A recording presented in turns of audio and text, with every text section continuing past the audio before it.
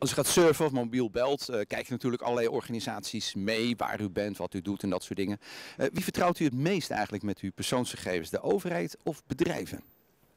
Moeilijke vraag. Ik denk bedrijven. Ja. ja. En waarom? Ja, de overheid. Dat, ik weet niet. De achterkamertjes politiek en zo. Ik vind dat een beetje... Uh, nee. Jij? ik weet het niet. Ik denk wel bedrijven, ja. Bedrijven. Ja? Vertrouw bedrijven meer? Ja, ja, ja, tuurlijk. tuurlijk. En waarom? Ik vertrouw in bedrijven meer dan aan uh, gewoon normale weet je, mensen of zo.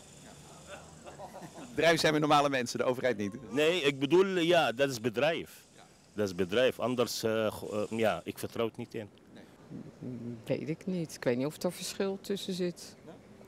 Ik, ik uh, denk ook niet dat er heel veel verschil tussen zit. De overheid moet het wel garanderen. Maar je ziet afgelopen week in het nieuws dat iemand zo makkelijk bij de gegevens van een aantal gemeenten kan komen. Dus I don't think it matters. I think they both run into the same risks. And sometimes maybe governments can be even more risky than businesses, but it really depends on. Uh... Ik heb zelf heel lang bij de overheid gewerkt, dus uh, dat wil niet zeggen dat ik ze nou onmiddellijk allemaal heb. Nee, ik denk niet dat ik daar een onderscheid tussen maak. Nee, nee. Meer in het algemeen. Nou, eigenlijk het meest op mezelf in dit, uh, in dit, in dit geval. Nee. Nou, dat is een mooie punchline. Dankjewel.